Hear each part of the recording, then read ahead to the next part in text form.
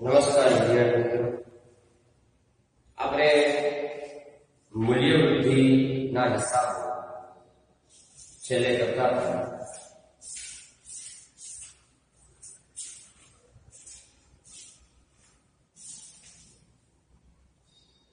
છેલ્લે આપણે અભિષેક વાળો દાખલો કર્યો. હવે આપણે પાંત્રીસમો દાખલો છે છે. તો એ આપણે કહી નાખીએ. તો દાખલા નંબર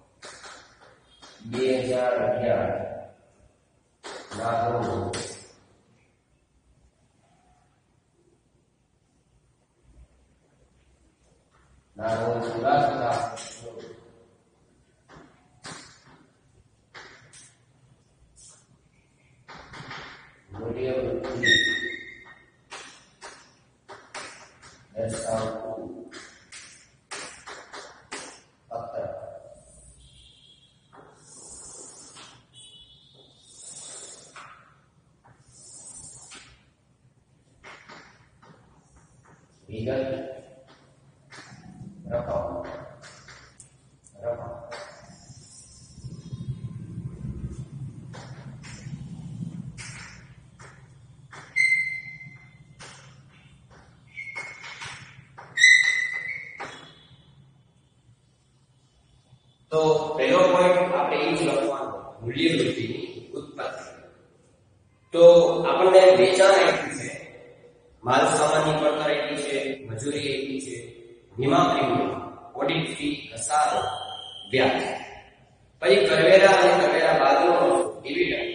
ડિવિડન્ડ અને રાખી મૂકેલી કમાણી આટલી વિગત આપણી પાસે છે તો આપણે દોરવાનું મૂલ્ય વૃદ્ધિની ઉત્પત્તિ દર્શાવતું પત્રક તો આપણી પાસે વેચાણ છે વેચાણ એ આપણી પાસે છે બાર લાખ તો શરૂઆત આપણે વેચાણથી કરવાની તો વેચાણ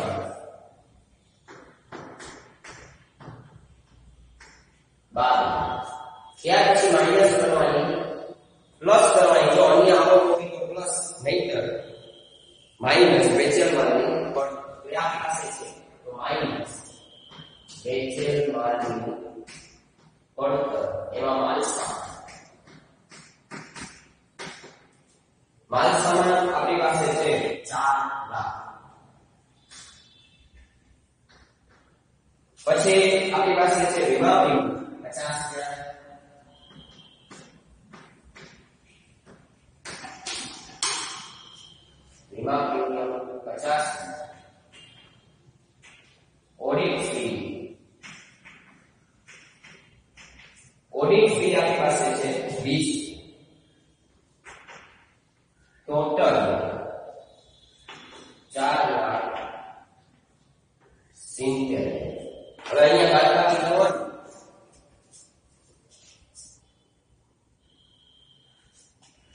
તો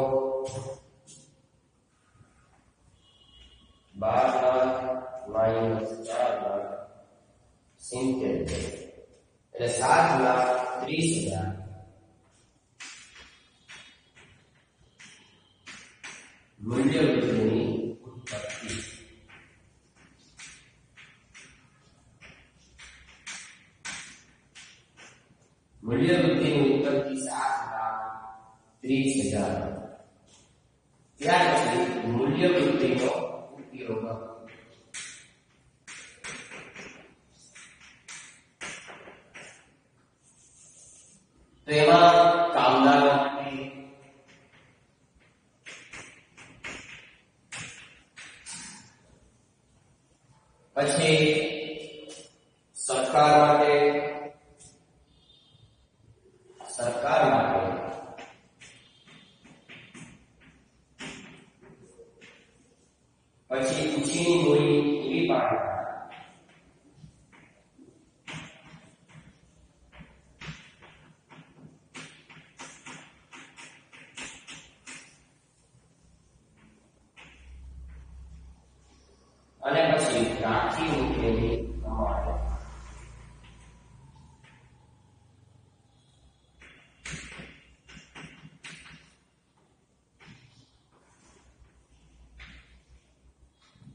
તો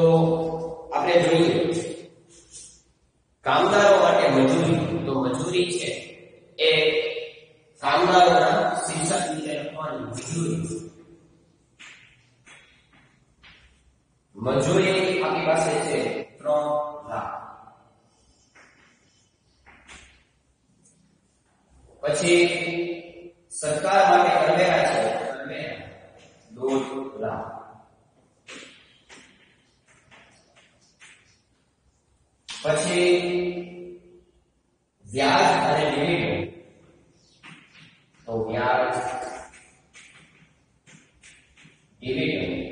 ya hace más ese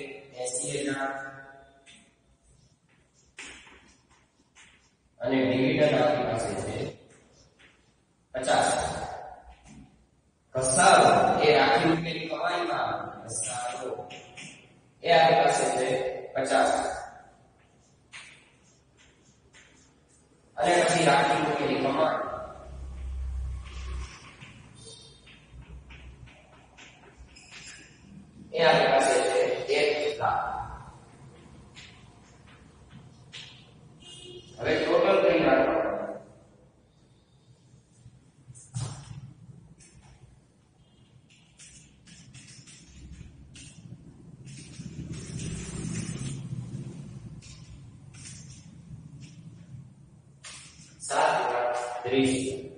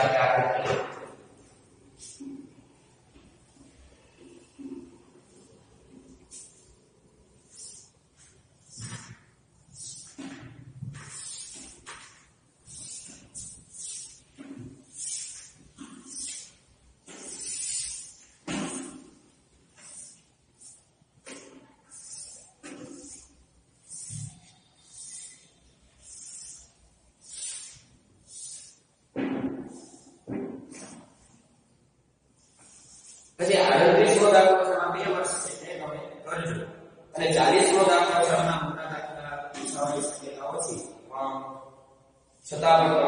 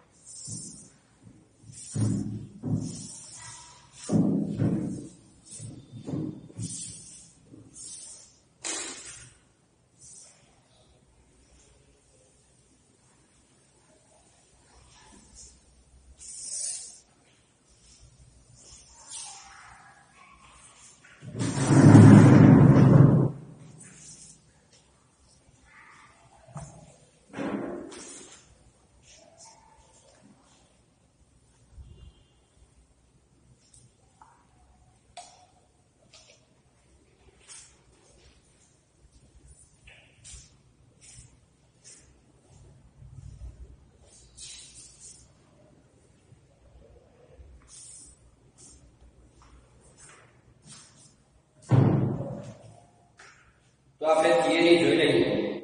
એટલે આપણું એકાઉન્ટ પૂરું થઈ ગયું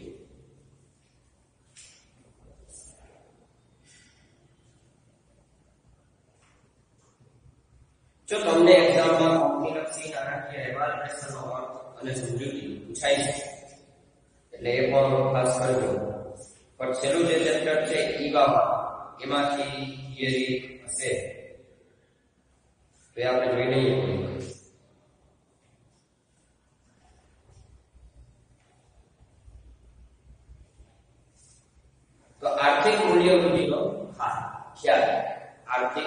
वैल्यू की व्याख्या इकोनॉमिक वैल्यू एडेड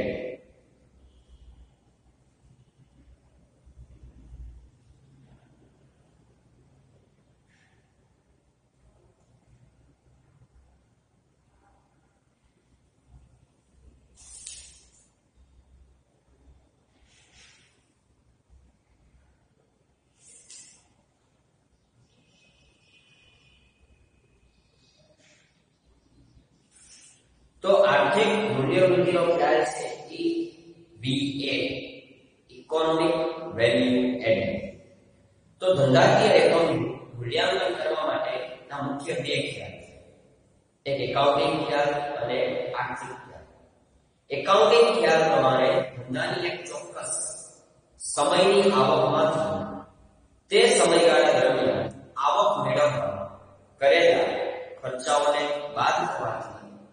ધંધામાં તે મૂલ્ય વૃદ્ધિ જાણી શકાય છે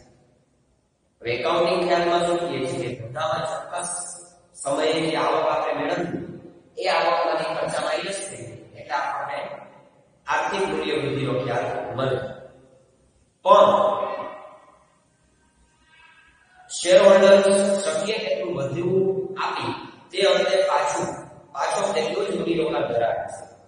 છે કે જે તે સમયની શરૂઆતમાં આમ આર્થિક મૂલ્ય વૃદ્ધિનો ખ્યાલ અનુસાર વર્ષની શરૂઆતમાં ધંધાનું જે મૂલ્ય હતું. તેટલું જ આર્થિક મૂલ્ય વર્ષના અંતે પણ રહેવું જોઈએ અને છતાં શેરહોલ્ડર્સ વધુમાં વધુ આર્થિક લાભ આપવા પડશે. પણ અહીંયા એકાઉન્ટિંગ ખ્યાલમાં ધંધાના મૂલ્ય વૃદ્ધિની ગણતરી સમયે મૂડીની વૈકલ્પિક પડતર અને ધંધામાં કરેલ મૂડીરોકાણની જોખમની પડતરને ક્યારેય ધ્યાનમાં લેતું નથી જો ધંધો છે એ ધંધાની અંદર જે જોખમ રહેલો જ છે કારણ કે એકે એકે ધંધો એવો નથી કે જેમાં જોખમ ના બધા ધંધાની અંદર જોખમ રહેલું જ હવે આ ખ્યાલ છે સ્ટ્રીમ્સ સ્ટેવર્ડ એન્ડ કંપનીએ આર્થિક આવકના ખ્યાલને ધ્યાનમાં લેવાનું ઓગણીસો ને નેવું નક્કી કર્યું. જેનું નામ આપ્યું છે આર્થિક વૃદ્ધિ ઇકોનોમિક વેલ્યુ એ કામ કઈ રીતે કરે છે? કે ધંધાનો કાર્યકારી નફો ધંધામાં રોકાયેલી મૂડી ની પડતર વસૂલવા સક્ષમ છે કે કેમ? તે પાછળનો ઉદ્દેશ એ છે કે શેરહોલ્ડર્સ ધંધામાં મૂડી રોકાણ કરવા માટે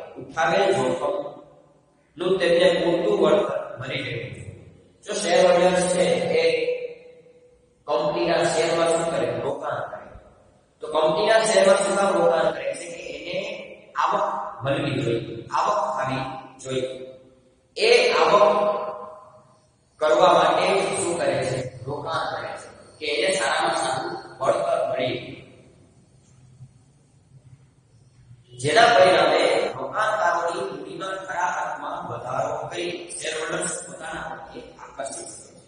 કંપની છે શેરહોલ્ડર્સને વધારે ફાયદો અપાવે તો શેરહોલ્ડર્સ એ વધારે રોકાણ કરવા માટે આકર્ષે અને આ કંપનીનો નફો છે, એ નફાની પણ શક્યતા, નફામાં પણ શું કરી શકે વધારો કારણ કે મોટા પાયા ઉપર જ્યારે શેર બજારમાં શેરની ખરીદી ને વેચાણ થાય, તો કંપનીને છે એમાંથી શું મળે? નફો મળે. એમાંથી શું થાય ફાયદો થાય આપણે બીકોમ સેમેસ્ટર 6 ની અંદર ઈપીએસ નું ચેપ્ટર એકાઉન્ટ અર્નિંગ પર છે તો એક શેર પર કંપની કેટલા કમાય છે એ આના ઉપરથી જાણી શકે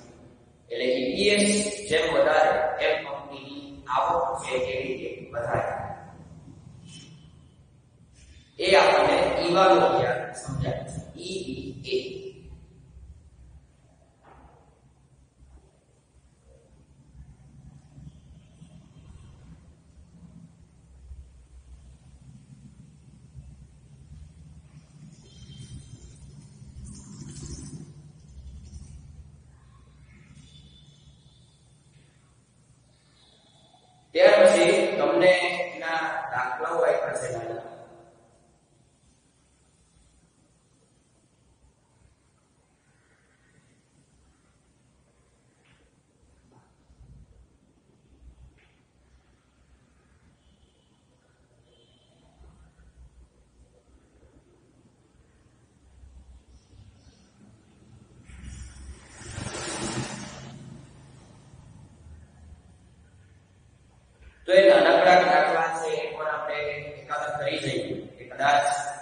એક્ઝામમાં પૂછાય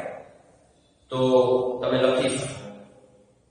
તો જો બેતાલીસમો દાખલો એબીસી કંપની માં રોકાયેલી મૂડી પચાસ હજાર છે એબીસી કંપનીમાં રોકાયેલી મૂડી પચાસ હજાર છે કંપનીનો કરવેરા પહેલા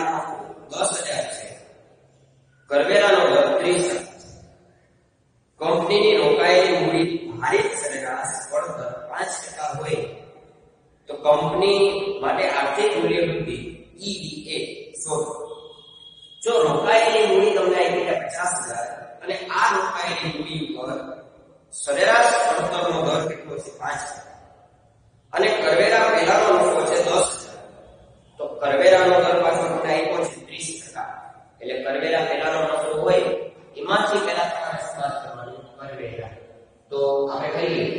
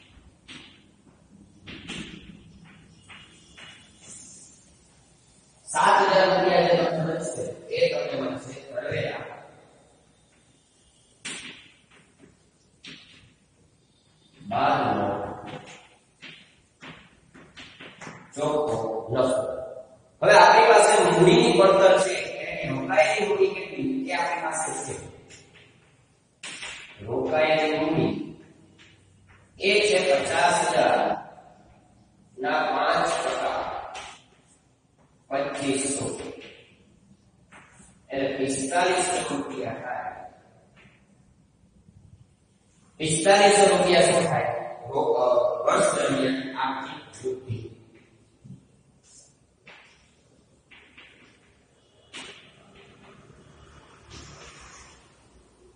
આર્થિક વૃદ્ધિ કેટલા છે પિસ્તાલીસો રૂપિયા છે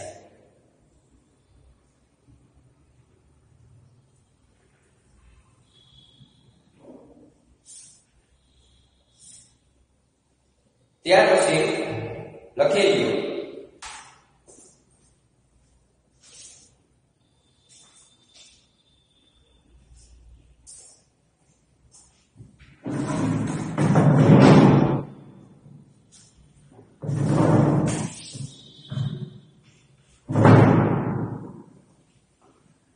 તમને એવો પ્રશ્ન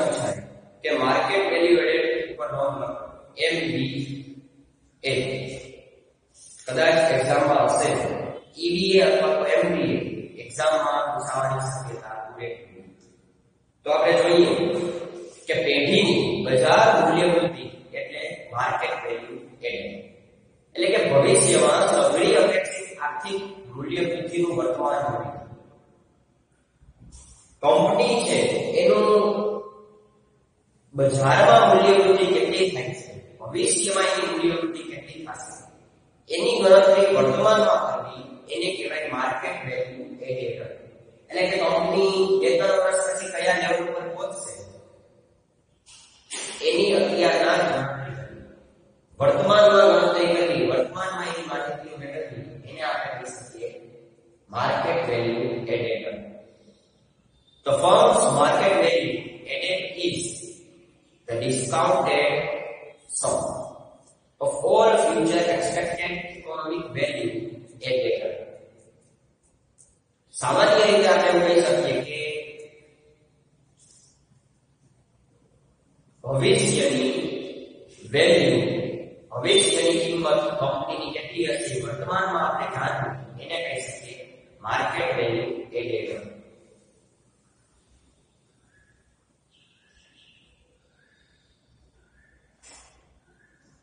સામાન્ય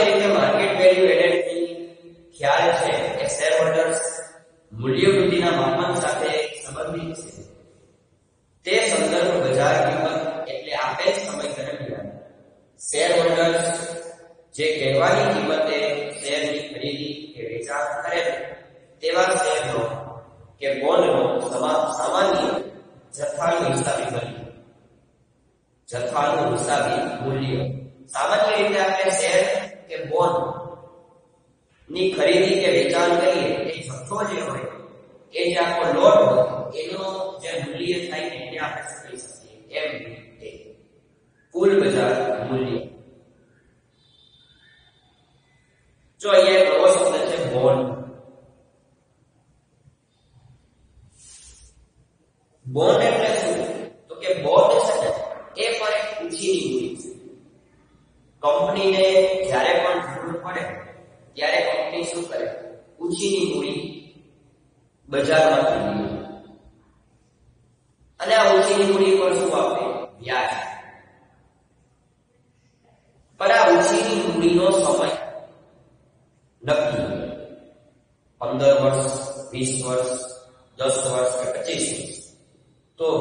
પચીસ વર્ષ માટે કંપની ઊંચીની મૂડી ભેગી કરે, એને આપણે કહી શકીએ બોન્ડ આને આપણે કહીશું બોન્ડ ઉપર આપણે શું આપવાનું વ્યાજ. તો બોન્ડ છે એ મોટા પાયા પર જ્યારે રોકાણકારોની ખરીદી કરે, એની ખરીદી મોટા જથ્થામાં કરે. અને એના આધારે આપણે શું કરવાનું? માર્કેટ વેલ્યુએટેડ કરવાનું. કે બજારમાં કંપનીની શાક પાત્રતા કેટલી છે બજારમાં જામીનગીરી કેટલી છે સારી છે કે ખરાબ છે જો સારી હશે કંપનીની સદ્ધરતા કંપનીની નામના તો વધારે લોકો બોન્ડમાં રોકાણ કરશે શેરમાં રોકાણ કરશે પણ કંપનીની નામના બહુ સારી નહીં તો રોકાણ કરનારા ઓછા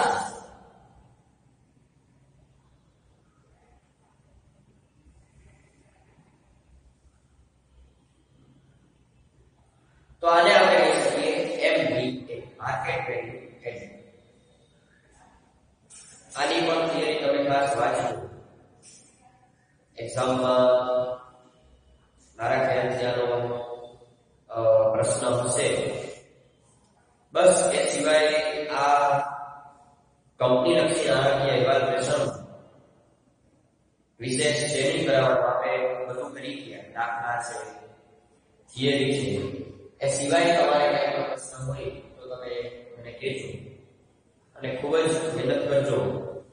કે જેથી કરી ખૂબ સારા માર્ક્સ છે, આ અકાઉન્ટ્સની અંદર આવી જાય અને થિયરીમાં પણ ખાસ મહેનત કરજો કે સારા માર્ક્સ આવે, કે જેથી કરી આપણી એવરેજ છે ટકાવારી એ સારામાં સારી જળવાઈ રહે